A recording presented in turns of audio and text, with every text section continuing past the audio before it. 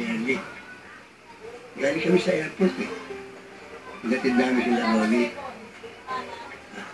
Kaya tuwan-tuwa naman si Miguel, asawa, at laking kasasalamat dahil sa tulong ng kakakabenta ko ng bahay natin. Natutuwa naman ako sa anak natin si Shirley. At nalalaman mo naman, ginapang natin ang pagtatapos niya sa kuleyo. Maganda naman ang ganti. Ha?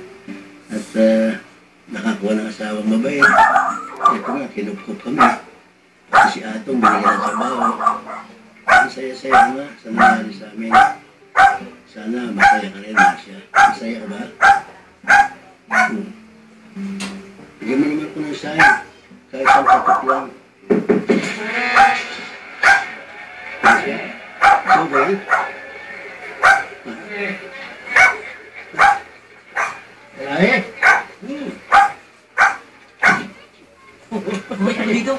Ha? Eh, baka kailangan mo ng tulong, ha?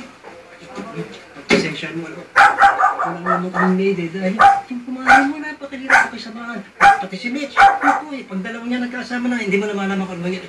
Teka muna, ito ba yung nakapagkalmusan ng musay? Tignan natin, para hindi ka na musay. Ah, Hindi ba, pagluluto kita ng lunch, ako ang bahala sa'yo, magaling ko dyan eh. At saka, isa pa, no? Baka, natutulog ako.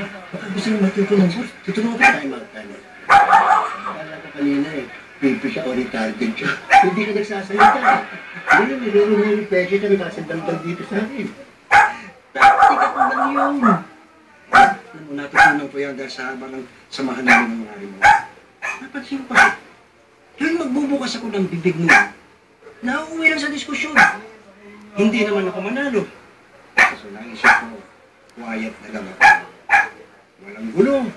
Tahimik ang buhay ko. Ano? Strategy eh. Oo. Pero mo, kontra sila na asawa ko. Ang asawa ko nga, pag nagtatalo kami, maski talo na ako, pinalalabas niya, panalo pa rin ako. Kaya pare, I'm sure na ang kumaring Marsha eh, yan ay masayang-masaya ngayon dahil nandito ka at alam niyang maaalagaan ka ng gusto ni Shirley gaya ng pag-aalaga sa iyo. oo nga pare, nakikita ko sarili namin ni Marcia, Shena at kay Bernie. Nagmamahalan, nagtutulungan, ha? Magkasundo, magkasundo.